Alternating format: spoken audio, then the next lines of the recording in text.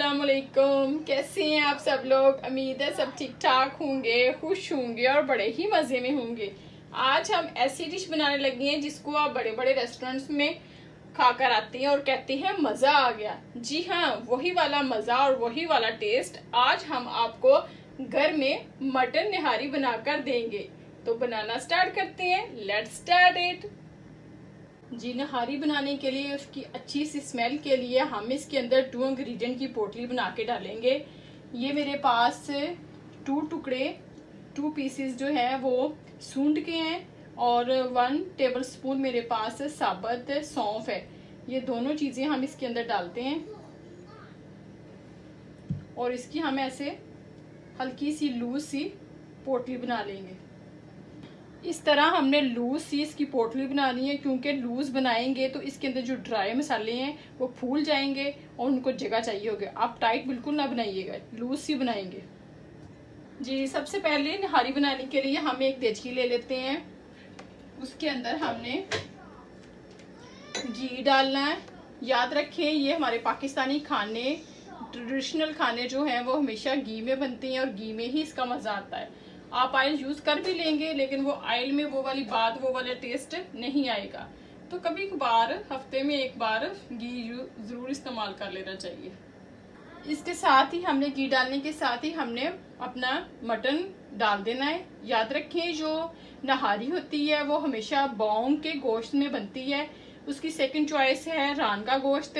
तो मेरे पास भी ये रान का गोश्त है। ये हम इसके अंदर डालते हैं, ये हाफ़ के जी है।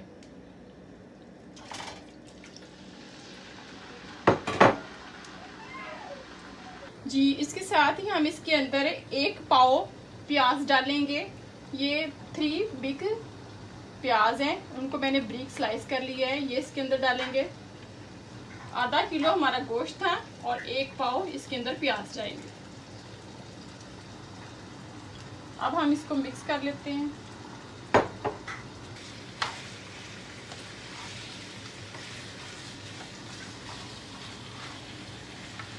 जी, प्याज डालने के साथ ही हमने इसके अंदर डेढ़ कप पानी का डाल देना है। हमने कोई इसको भूनना वूनना नहीं है, कोई इसको प्याज को गोल्डन नहीं करना। बस हमने ऐसे तीनों चीज़ों को करके इसके अंदर हमने वो जो पोटली बनाई थी, सूंड की और सौंफ की, वो हमने इसके अंदर डाल देनी है और इसको हमने अच्छे से मिक्स कर लेना है।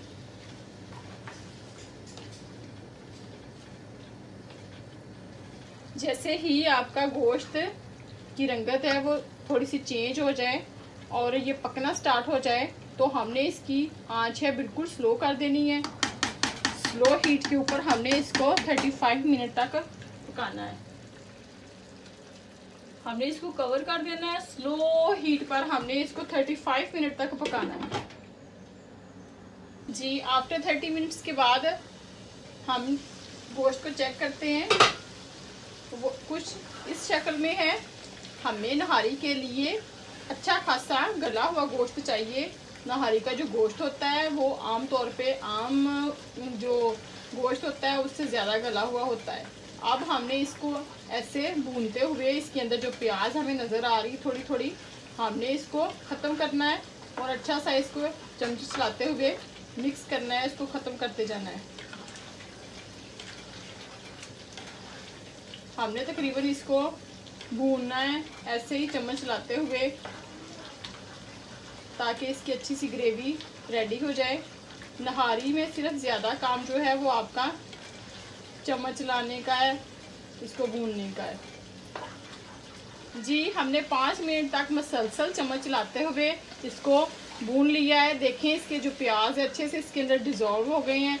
इस टाइम अब हमने इसके अंदर लहसुन, अदरक का पेस्ट जो कि मेरे पास वन वन टेबल स्पून है, उसके अंदर हमने थोड़ा सा पानी डाल लेना है और उसको मिक्स कर लेना है। हमने डायरेक्ट लहसुन अदरक का पेस्ट नहीं डालना। इसके अंदर हमने पानी डाल लिया और उसको मिक्स कर लिया। ये इसके अंदर वाटरी फॉर्म में जाएगा। और फिर हमने इसको चम्मच लाते हुए इसको भूनते जाना है। अच्छे से तब तक ये इसका लहसुन अदरक का जो है वो पानी इसके अंदर हमने वाटर फॉर्म में डाला था वो ख़त्म ना हो जाए। जी मसलसल इसको टू मिनट तक भूनने के बाद इसका ऑयल जो है अच्छा खासा ऊपर आ गया है। इस टाइम हमने इसके अंदर पीसी हुई रेड मिर्च और पिंक नमक डालना है पिंक सॉल्ट ये मेरे पास one tablespoon pink salt है और वन टेबल स्पून पिसी हुई रेड मिर्च है। ये इसके अंदर जाएगी। इन दोनों चीज़ों को डालने के बाद हमें अच्छा सा इसको भून लेना है। नहारी के अंदर बहुत ज़्यादा मसाले यूज़ नहीं होते। कुछ लोग इसके अंदर कहते हैं, बारह मसाले यूज़ होते हैं। बिल्कुल भी नहीं यूज़ होते। इसके अंदर ओनली रेड मिर्च और नमक और जो मैंने पोटली बना के डाली थी, वो यूज़ होते हैं और एंड पे हम इसके अंदर गरम मसाला डालेंगे। अब हम इसको रेड मिर्च के साथ अच्छा सा भून लेंगे। जी, मसाले डालने के बाद हमने इसको टू मिनट अच्छे से भून लेना है ताकि इसका अच्छा सा ऑयल जो है वो उसके ऊपर आ जाए। तो इस टाइम हमने इसके अंदर टू कप पानी डाल देना टू कप पानी डालने साथ ही हमने इसको कवर कर देना है। जी नहारी को आखिरी शक्ल देने के लिए हम इसके अंदर आटा डालेंगे। ये मेरे पास थ्री टेबल स्पून लाल आटा, यानी कि रेगुलर आटा है जिससे हम रोटी पकाते हैं, ये मैदा या कॉर्नफ्लावर नहीं है। आप बिल्कुल भी मैदा या कॉर्नफ्लावर जो है वो नहारी के अंदर यूज़ मत कीजिएगा, वरना आपकी नहारी का टेस्ट है वो ख़राब हो जाएगा। तो हमने इसको वाटरी सा बनाना है, इसको बैटर नहीं बनाना। तो हम इसके अंदर पानी डालते हैं, इसको अच्छे से मिक्स करते हैं ताकि इसके जो लम्स हैं वो निकल जाएँ। जी हमने इसको वाटरी सा बनाना है। जी इस तरह बिल्कुल देखिए ज़रा, ऐसे बिल्कुल वाटरी सा हमने इसको बनाना है। अब हम इसको नहारी में डालते हैं। अब हम नहारी के अंदर जो हमने आटे का और पानी का मिक्सचर रेडी किया था, उसको डालेंगे। वाटरी सा।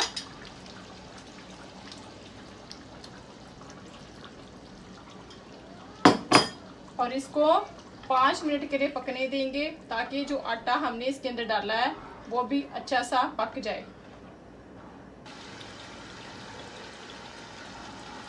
सबसे एंड पे हम इसके अंदर वन टेबल स्पून गर्म मसाला डालेंगे। गर्म मसाला भी हम डायरेक्ट नहीं डालेंगे, उसके अंदर हम पानी थोड़ा सा डालेंगे और फिर इसको डालेंगे। और इसके, इसको थोड़ा सा मिक्स कर लेंगे। देखिए ज़रा, माशाल्लाह, कैसे ऊपर इसके घी आ गया है। इन खानों में थोड़ा जो घी है, वो ज़्यादा ही डलता है, क्योंकि घी ऊपर होएगा तो आपसे खाया जाएगा, नहीं तो अदरवाइज़ आपसे नहारी नहीं खाई जाएगी। सबसे लास्ट में हम इसके अंदर हरा धनिया डालेंगे और इसको डिश आउट करेंगे।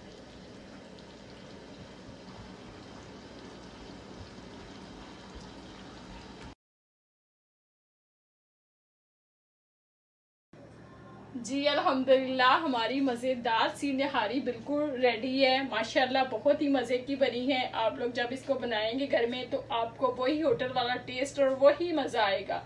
आप इसको लीमू के साथ, हरी मिर्च के साथ, अदरक और धनिए के साथ डाल डाल के, नींबू निचोड़ निचोड़ के खाएँ और इंजॉय करें। आप इसको रोटी के साथ, नान के साथ, जैसे आपका दिल करे, आप इसको खाएँ और इंजॉय करें। जी अच्छा खाएँ और हेल्दी खाएँ। मिलते हैं फिर नेक्स्ट वीडियो में। तब तक के लिए अल्लाह हाफिज़। तो आज हम बना रहे हैं बहुत ही यमी बहुत ही डिलीशियस और बहुत ही मज़े की बिरयानी जो हर किसी की फेवरेट है।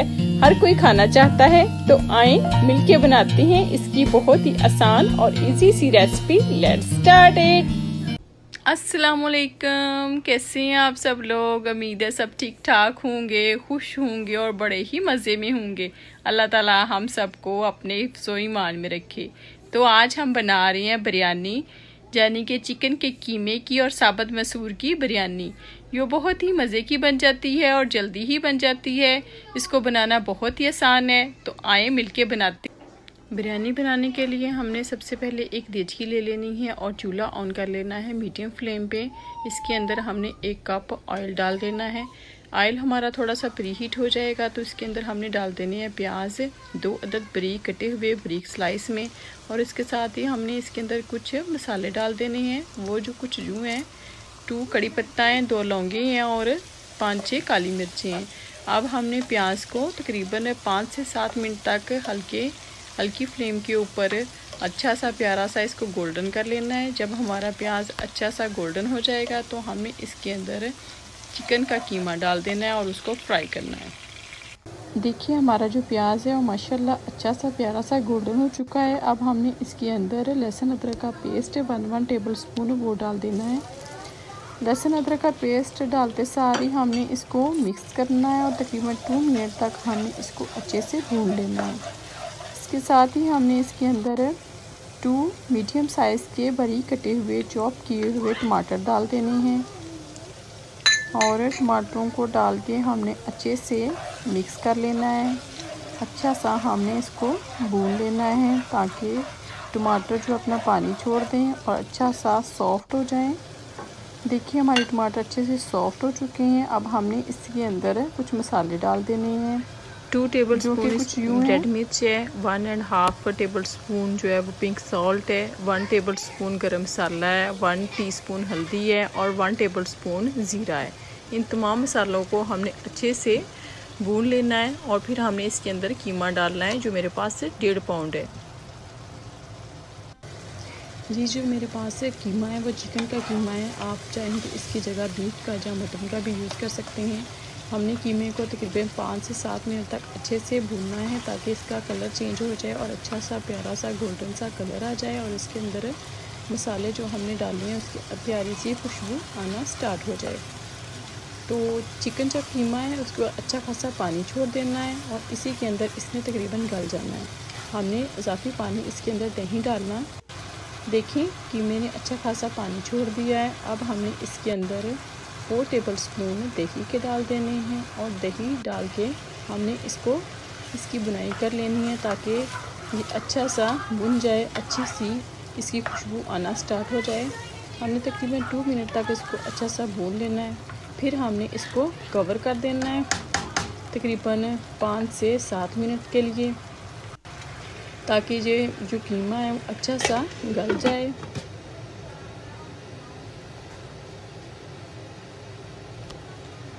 पाँच से सात मिनट के बाद हम इसको चेक करते हैं, देखें इसके अंदर अभी भी अच्छा खासा पानी है। अब हमें इसका ढक्कन हटा देना है और उसको भून लेना है ताकि इसका जो पानी ख़त्म हो जाए और ये अच्छा सा प्यारा सा कीमा जो है हमारा रेडी हो जाए।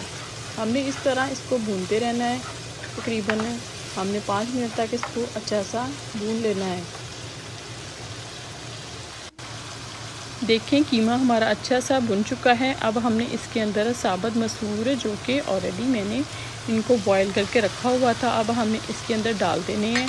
इन दोनों को हमने अच्छे से मिक्स कर लेना है। देखें, हमने दोनों को अच्छे से मिक्स कर लिया है। अब हमने इनको तकरीबन टू मिनट के लिए हमने भून लेना है, ताकि दोनों के अंदर मसालों की जो अच्छी सी खुशबू है वह रच बस जाए और ये दोनों अच्छे से रेडी हो जाएँ। सबसे लास्ट में हमने इसके अंदर हरा धनिया डाल देना है। देखें, आपकी मर्ज़ी, आप थोड़ा डालें, ज़्यादा डालें। अब हमने इसको मिक्स करके धनिया डाल के मिक्स करके एक साइड पे रख लेना है। जी, हमने एक साइड पे एक देजकी और ले लेनी है। इसके अंदर हमने खुला पानी डाल लेना है। हमें अच्छा खासा पानी चाहिए ताकि चावल जो है, अच्छे से बॉईल हो सकें और इसके अंदर हमने डाल लेने हैं कुछ मसाले, जैसे वन टेबल स्पून ज़ीरा है one and half tablespoon pink salt है वन बादियान का फूल है और दो तीन कड़ी पत्ती हैं। इस, ये डालने से चावलों के अंदर बहुत ही मज़े का, बहुत ही अच्छी इसकी खुशबू आती, बहुत ही मज़े का फ्लेवर आता है। अब हमने इसको कवर कर देना है और इसका बॉयल आने तक का वेट करना है। ये देखिए हमारा पानी जो है उबल चुका है।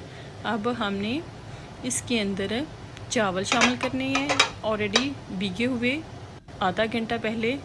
जी, अब हम इसके अंदर चावल शामिल करते हैं, जो भीगे हुए हैं। डाल देते हैं। जी, हमने चावल डाल दिए इसके अंदर। अच्छे से। अब हम इसको हल्का सा मिक्स करते हैं। हमने बहुत ज़्यादा इसके अंदर चम्मच नहीं चलाना है। बस हल्का सा इसको मिक्स कर लेना है। और इसको अब हमने कवर अप कर देना है। तकरीबन उस टाइम के लिए हम कवर अप कर देंगे कि इसके अंदर अच्छा सा बॉयल आ जाए, यानी कि ये 99 परसेंट तक हमारे जो चावल हैं कुक हो जाएँ। देखिए, हमारे चावल कुक हो चुके हैं, अब हम इसका पानी ड्रेन आउट कर जी, मैंने चावलों का सारा पानी निकाल लिया है। अब हम बिरयानी की तय लगाएँगे। उसके लिए देचकी ले ली, उसके अंदर फोर टेबल स्पून ऑयल डाले हैं और एक चावलों की तय लगाई है। उसके अंदर अब हमने वो कीमे की और मसूर की तय लगाई है, फिर हमने चावलों की दूसरी तय लगा ली है। अब हमने फिर वही कीमे की और मसूर की तय लगाई है। अब हमने फिर से एक और चावलों की तय लगा ली है। इसी तरह अब हमने इसके अंदर कुछ धनिया, पुदीना और लेमन छिड़क दिए हैं। देखिए कितने खूबसूरत लग रहे हैं और साथ ही में मैंने इसके ऊपर ऑरेंज कलर यानी कि फ़ूड कलर डाल दिया। आपकी मर्ज़ी, आप येलो भी डाल दें ऑरेंज डाल दें, जैसे आपको अच्छा लगे। अब हमने इसको कवर कर देना है तकरीबन 10 से 12 मिनट के लिए। तो मिलते हैं फिर 10 से 12 मिनट के बाद। जी 12 मिनट के बाद हम आ चुके हैं। अब हम इसको देखते हैं कि हमारी बिरयानी कैसी लग रही है। जी, अल्हम्दुलिल्लाह, हमारी बिरयानी माशाल्लाह बहुत ही यमी और बहुत ही खूबसूरत और बहुत ही डिलीशियस रेडी हुई है। अब हम इसको मिक्स करते हैं। जी, अब हम इसको मिक्स करते हैं और आपको दिखाते हैं। देखें कैसा इसके चावल निखरे निखरे, बिखरे बिखरे से हैं और इसका कलर कॉम्बिनेशन देखें कैसा खूबसूरत सा इसका कलर आया है। और खाने में भी ये यकीनन बहुत ही मज़े की होगी। बहुत ही डिलीशियस होगी। देखें ज़रा इसके चावल, माशाल्लाह कैसे ज़बरदस्त से बने हैं। आप लोग भी ज़रूर इस रेसिपी को ट्राई कीजिएगा। ये बहुत ही इजी सी रेसिपी है। देखें, माशाल्लाह कैसे खूबसूरत सा इसका कॉम्बिनेशन है। अब हम इसको डिश आउट करेंगे और आपको दिखाएँगे अपनी खूबसूरत सी, प्यारी सी बिरयानी। जी, अल्हम्दुलिल्लाह, हमारी मज़ेदार सी, खूबसूरत सी बिरयानी, माशाल्लाह, बिल्कुल रेडी है।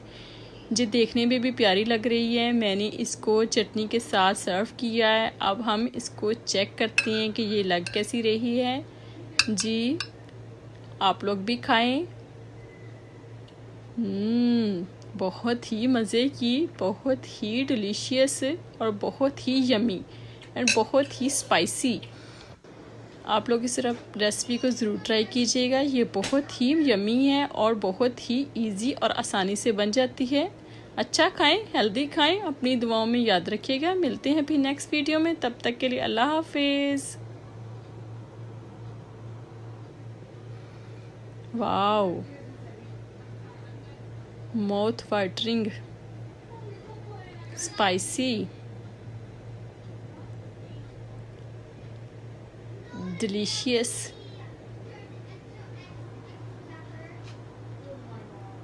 Yummy.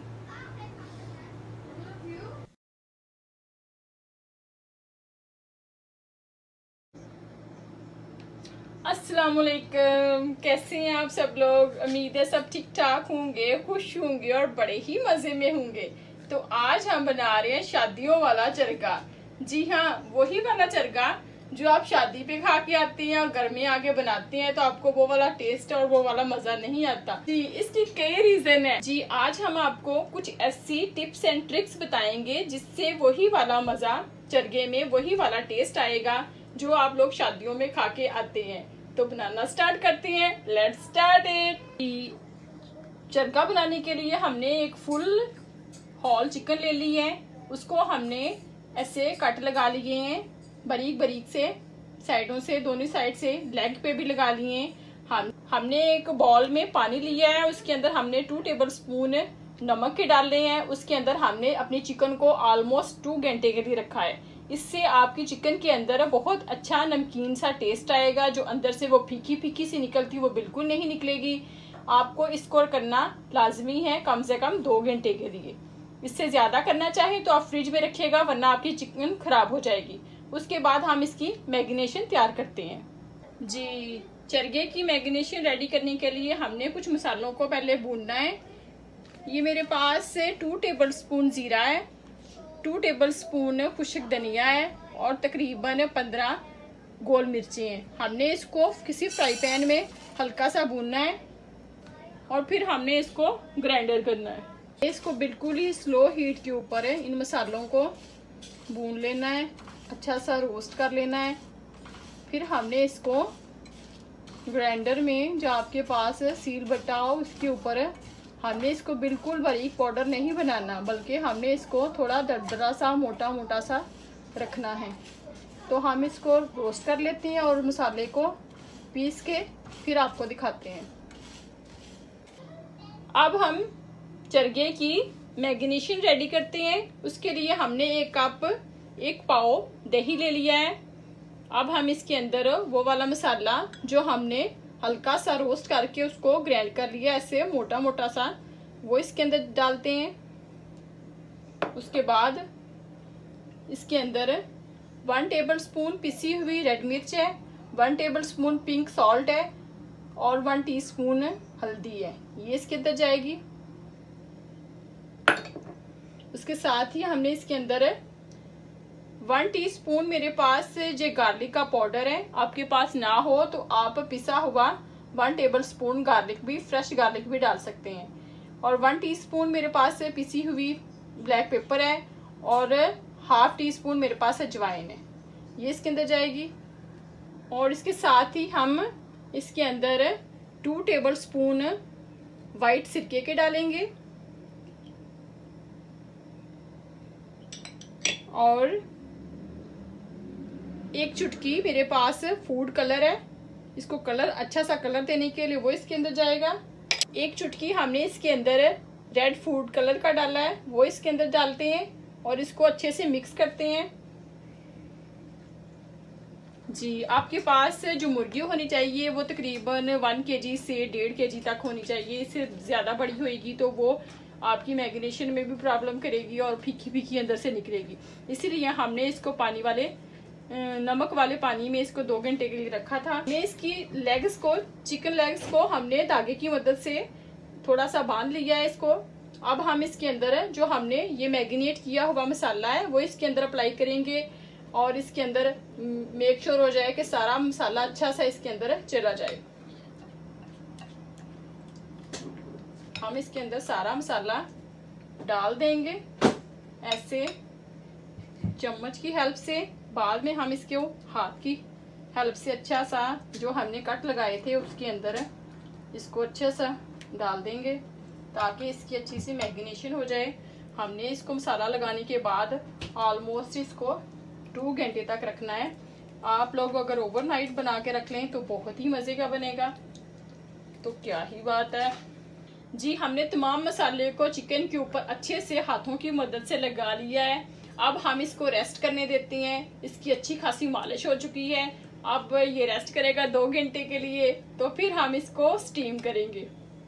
आफ्टर टू आवर्स के बाद हम आ चुके हैं। हमारे चिकन ने अच्छी खासी रेस्ट कर ली है। अब हम इसको स्टीम करते हैं। स्टीम करने के लिए सबसे पहले हमने एक देजकी ले ली है।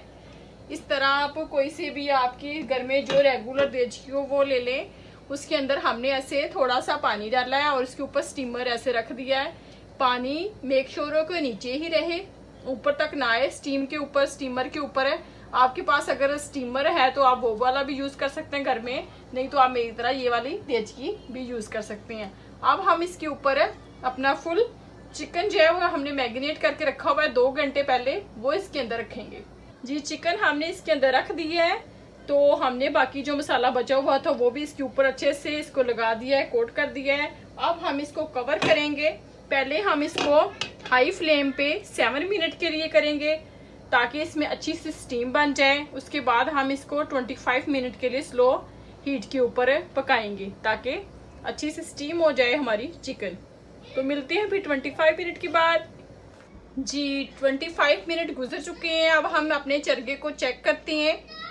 जी, अल्हम्दुलिल्लाह, ये अच्छा सा स्टीम हो चुका है। अब हम इसको बाहर निकालते हैं और आपको फ्राई करके दिखाते हैं। जी, चरगा, जब हमारा अच्छे से स्टीम हो हो जाए तो उसके ऊपर हमने लेमन लगाना है। आपने ब्रश की मदद से या चम्मच से अच्छी तरह लेमन को कोट कर देना है।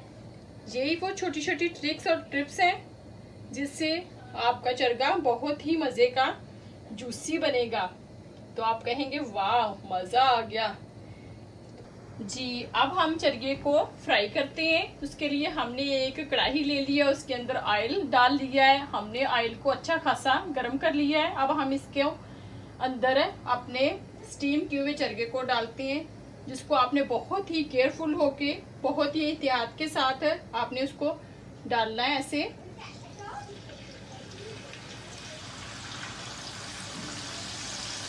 जी, हमने इसको तीन मिनट एक साइड पे फ्राई करना है और तीन मिनट हमने इसको दूसरी साइड पे फ्राई करना है।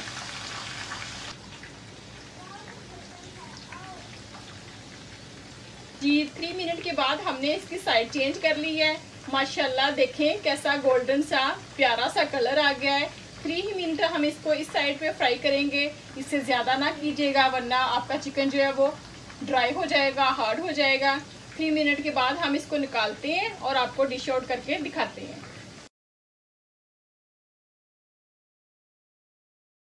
जी, अल्हम्दुलिल्लाह, हमारा शादियों वाला चरगा मज़ेदार, चरगा चटपटा, चरगा बिल्कुल ही रेडी है। आप लोग इस रेसिपी को ज़रूर ट्राई कीजिएगा। इजी और सिंपल रेसिपी है। तो बताइए, कैसी बनी? अच्छा खाएँ और हेल्दी खाएँ। अपनी दुआओं में याद रखिएगा। मिलते हैं फिर नेक्स्ट वीडियो में। तब तक के लिए अल्लाह हाफिज़। वाओ चटपटा मज़ेदार चरगा। जी हाँ बहुत ही यमी बिल्कुल शादियों वाला टेस्ट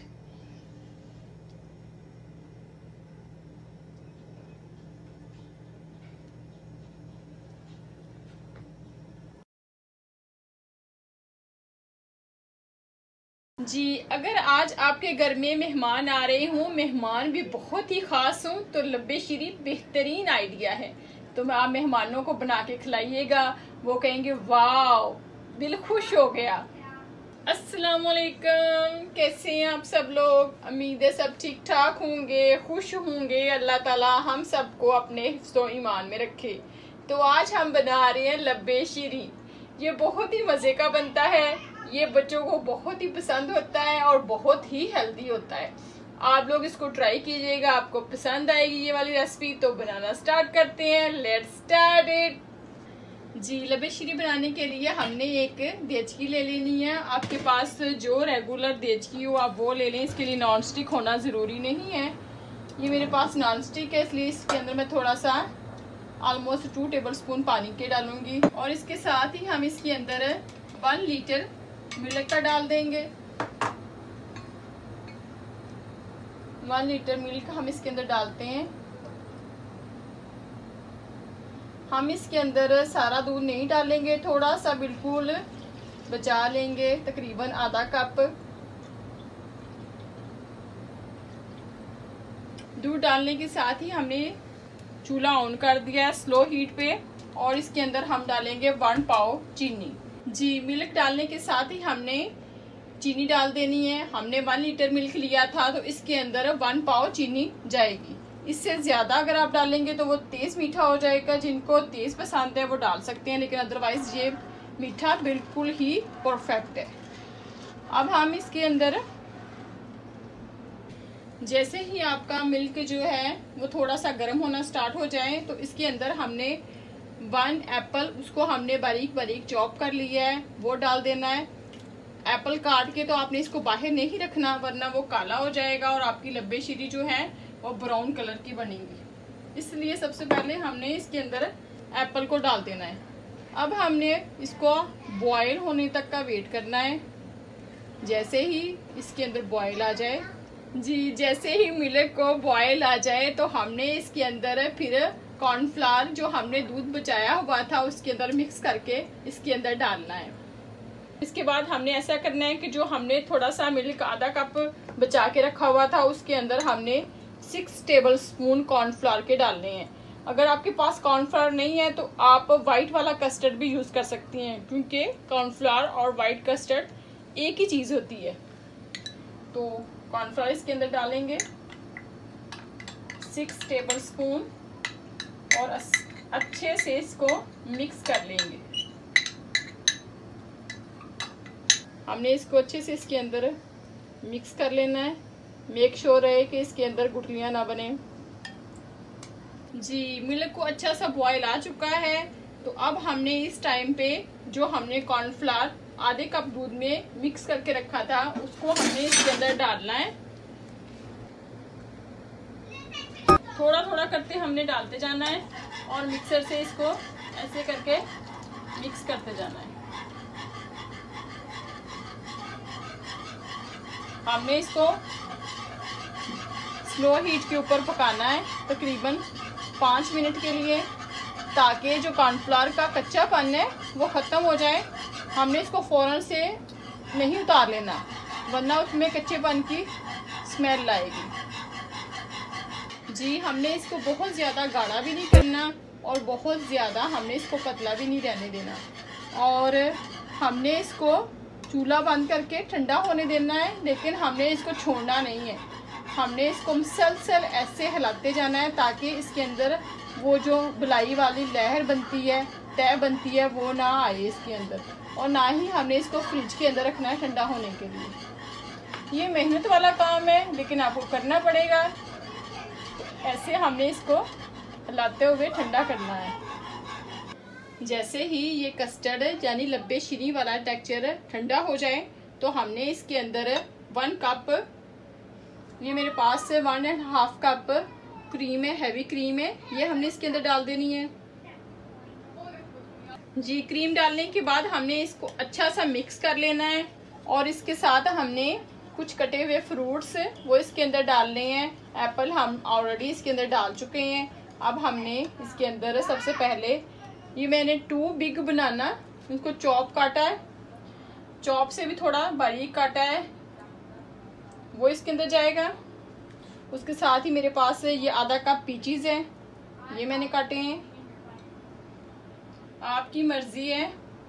जो आपको फ्रूट पसंद हो, वो आप डाल सकते हैं। लेकिन कोशिश कीजिएगा कि आप वाटरमेलन और खरबूजा और गर्मा इस तरह के कोई फ्रूट इसके अंदर ना डालें। वाटरी फ्रूट इसके अंदर ना डालें। और इसके साथ ही मेरे पास जे अंजीर है पाँच सात तो उनको मैंने चॉप काट लिया है। ये अंजीर बिल्कुल ऑप्शनल है, अगर आपको नहीं पसंद तो आप ना डालें। इसके साथ ही हम इसके अंदर कुछ अनार डालेंगे। थोड़े से हम इसको गार्निश के लिए बचा लेते हैं। मेरे पास से ये बादाम और पिस्ते हैं। ये इसके अंदर जाएँगे।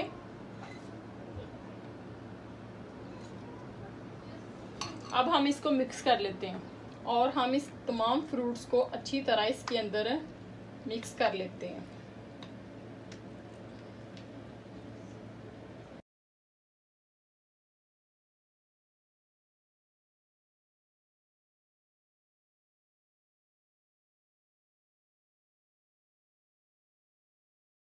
अल्हम्दुलिल्लाह, हमारी लब्बे शरी बिल्कुल रेडी है। माशाल्लाह, बहुत ही मज़ेदार बनी है ये रेसिपी आप लोग ज़रूर ट्राई कीजिएगा, अपने बच्चों को, अपने बुज़ुर्गों को, खुश कीजिएगा। तो अच्छा खाएँ हेल्दी खाएँ, हमेशा अपनी दुआओं में याद रखिएगा। मिलते हैं फिर नेक्स्ट वीडियो में। तब तक के लिए अल्लाह हाफिज। यमी मज़ेदार लबे श्री वाओ यम अस्सलाम वालेकुम कैसे हैं आप सब लोग? उम्मीद है सब ठीक ठाक होंगे। अल्लाह ताला हम सबको अपने हिफ्स ईमान में रखे। आज हम बनाने लगे हैं चपड़ी कबाब। जो बहुत ही आसान और बहुत ही इजी तरीके से बनाना बताएँगे। तो लेट्स स्टार्ट इट जी, इसके लिए सबसे पहले हमने चिकन का कीमा लिया है। ये मेरे पास है थाई चिकन का कीमा है। आप इसके लिए ब्रेस्ट का भी यूज़ कर सकते हैं। ये मेरे पास से टू पाउंड है। सबसे पहले हम इसके अंदर अपने ड्राई मसाले डालेंगे। जी जी मेरे पास ड्राई मसाले हैं, जो हम इसके अंदर सबसे पहले डालेंगे। जी मेरे पास वन टेबल स्पून कुटा हुआ सूखा धनिया है। इसको मैंने रोस्ट किया हुआ है तवे के ऊपर और कुटा हुआ और रोस्ट किया हुआ वन टेबल स्पून ज़ीरा है। इसके साथ ही इसके पा, मेरे पास है वन टेबल स्पून गर्म मसाला है। One tablespoon pink salt है और वन टेबल स्पून कुटी हुई मिर्च है। टू टेबल स्पून मैंने अनारदाना लिया है मैंने इसको पीस लिया है। अगर आप चाहें तो आप इसको ऐसे भी यूज़ कर सकते हैं लेकिन मुझे इस तरह ज़्यादा कंफर्टेबल लगता है। ये हम इसके अंदर सारे डालेंगे।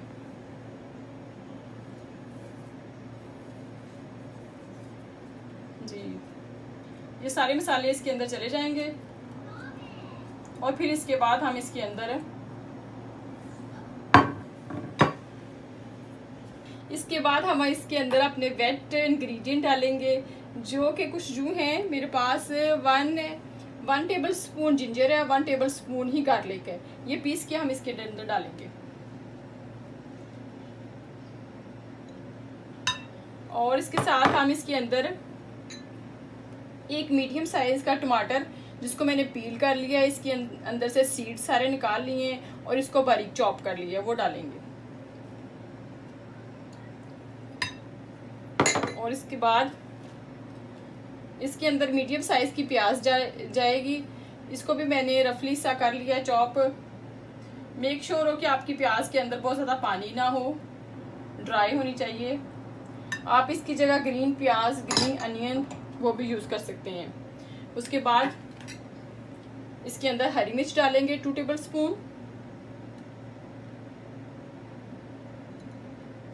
इसके अंदर पिसी हुई रेड मिर्च नहीं डाली। और बाइंडिंग के लिए इसके अंदर आप मकई का आटा डाल सकते हैं और या फिर आपके पास ऑप्शन है, आप इसके अंदर बेसन डाल सकते हैं। मैं भी इसके अंदर बेसन यूज़ कर रही हूँ।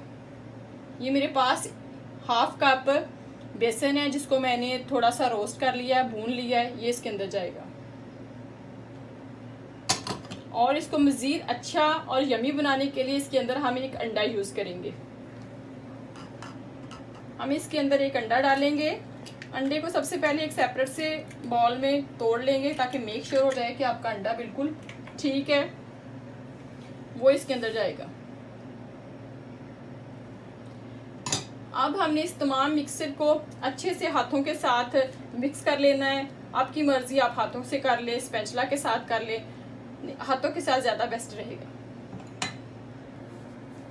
मेक श्योर sure कर लें कि आपके हाथ जो है बिल्कुल साफ़ हों। आप उसको अच्छी तरह वॉश कर लें और आप हम इसको अच्छे से इसके अंदर मिक्स करेंगे। अगर आपका कीमा बहुत ज़्यादा पतला है, उसके अंदर पानी है आप इसकी जगह, इसके अंदर एक टेबल स्पून दो टेबल स्पून बेसन की और भी ऐड कर सकते हैं। कि हमने इसको अच्छे से हाथों के साथ मिक्स कर लिया है। अब थोड़ा सा हम टू टेबल स्पून ऑयल लेंगे, अच्छे से अपने हाथों को लगाएँगे, चिकना कर लेंगे और हम चपली कबाब बनाएँगे। आपकी मर्ज़ी, आप जैसी मर्ज़ी उसको बना लें गोल बना लें। चकोर बना लें, जैसे आपका दिल करे आप बना लें। इसको हम थोड़ी सी इसकी शेप से बड़े बनाएँगे, क्योंकि ये आयल में थोड़े से श्रिंग हो जाते हैं। जी। ऐसे हम इसको बना लेंगे। और इसको एक प्लेट में रखते जाएँगे।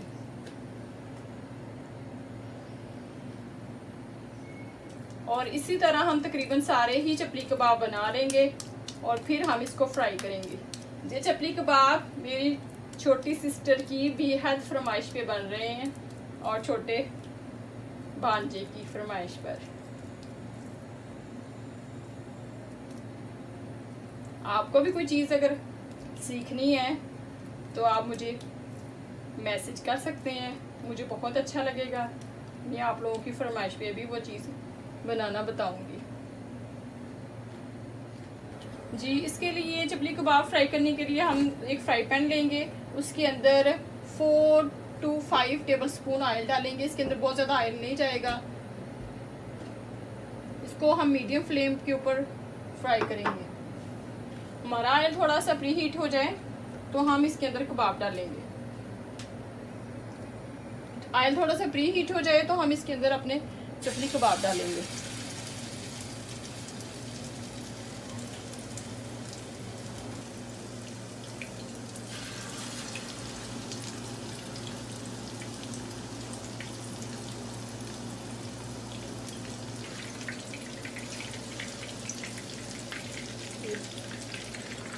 आफ्टर टू मिनट के बाद हमने इसकी साइड चेंज कर देनी है। इसका हल्का सा गोल्डन कलर आ गया है।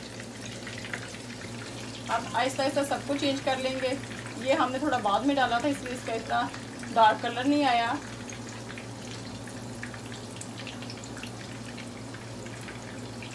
जी, पाँच मिनट तक आपने हमने इसको एक साइड से और तकरीबन दो तीन मिनट तक हमने इसको दूसरी साइड से ब्राउन कर लेना है। आपकी मर्ज़ी, आप इसको डार्क कलर देना चाहें डार्क कर लें लाइट कलर देना चाहें लाइट कर लें जैसे आपका दिल करे तो इसको हमने ऐसे फ्राई करते रहना है। और इसको बाहर निकालते जाना है।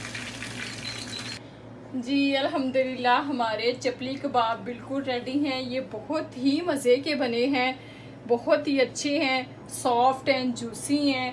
आप इसको ज़रूर ट्राई कीजिएगा। इसको चटनी के साथ कैचअप के साथ, जैसे आपका दिल करे आप इंजॉय करें। तो मुझे अपनी दुआ में याद रखिएगा। तो हम फिर मिलते हैं नेक्स्ट वीडियो में। तब तक के लिए अल्लाह हाफिज़।